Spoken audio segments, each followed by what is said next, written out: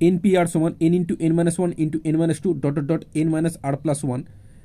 যদি N P four সমান পাঁচ হাজার চল্লিশ হয়, তাহলে এন এর মান কত জিজ্ঞেস করেছে? তো কোশ্চেন আমাদের এই যে এন পি আর সমান যেটা বলে দিয়েছে কোশ্চেনে এই যে এন আছে, তো এই এন মানে হচ্ছে এখানে এন মাইনাস জিরো, অর্থাৎ এন থেকে শূন্য বিয়োগ করলে এনই হয়। তারপর n minus one, n minus two, এইভাবে চলতে থাকলে একদম শেষে আছে n minus r plus one. তো এটাকে আমরা লিখতে পারি এন মাইনাস ব্র্যাকেটে আর মাইনাস ওয়ান। দেখো ব্র্যাকেট খুললে এন মাইনাস আর মাইনাসে মাইনাসে প্লাস। তো এইভাবে লেখার একটাই উদ্দেশ্য। কারণ এইভাবে দেখলে তোমরা ভালো বুঝতে পারবে। দেখো, প্রত্যেক ক্ষেত্রে এন মাইনাস আছে, তারপর এখানে প্রথমে শূন্য, তারপরে এক, তারপরে দুই। আর এখানে যে আরতম পদ মানে হচ্ছে, একদম শেষে কিন্তু আর থাকবে না আর মাইনাস ওয়ান মানে আরের ঠিক আগের পথটার কথা বলা হয়েছে, ওইখানে গিয়ে শেষ হবে। তাহলে টোটাল এতগুলো পথ থাকবে।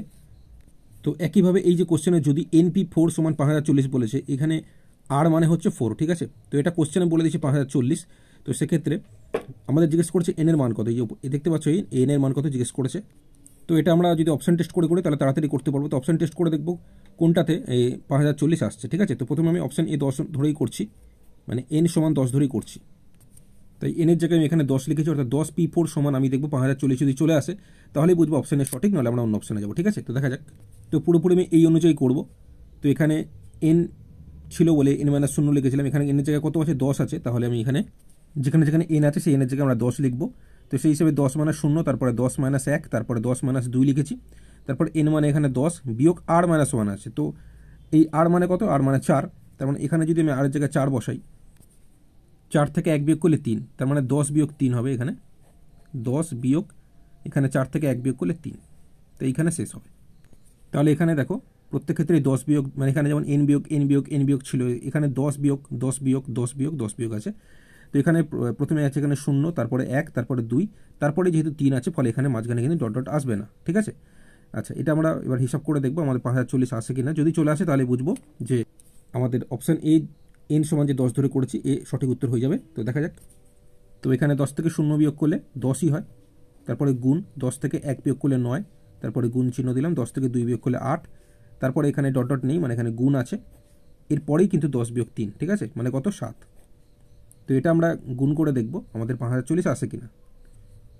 তো গুণ করে আমি দেখলাম এখানে সাত আটটা ছাপ্পান্ন ছাপ্পান্ন নয় গুণ করলে পাঁচশো চার, পাঁচশো চারের সঙ্গে দশ গুণ করলে পাঁচ হাজার চল্লিশ।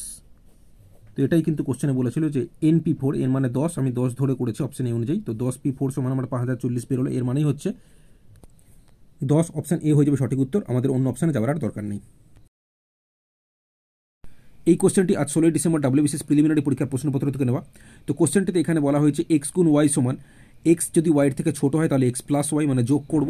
এক্স যদি ওয়াইয়ের থেকে বড় হয় তাহলে বিয়োগ করব। আর এক্স যদি ওয়াইয়ের সমান হয় তাহলে দুই গুণ এক্স করব মানে টু এক্স করব, ঠিক আছে?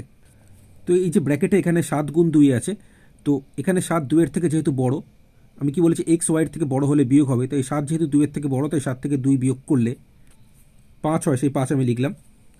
তারপর যোগ চিহ্ন দিই এখানে যেহেতু ব্র্যাকেটে পাঁচ সাতের থেকে ছোট, তো ছোট হলে কি হয়? যোগ হবে, তো এই পাঁচের সঙ্গে সাত যোগ করলে বারো লিখলাম।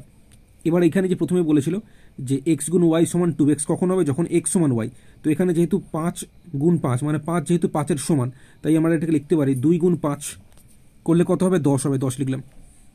আর এখানে যেহেতু বারো দুইয়ের থেকে বড় বড় হলে কী হবে? বিয়োগ হবে। তাই বারো থেকে দুই বিয়োগ করলে দশ হয়। এবার দশের সাথে দশ যোগ করলে কুড়ি অপশানে কুড়ি হয়ে যাবে সঠিক উত্তর।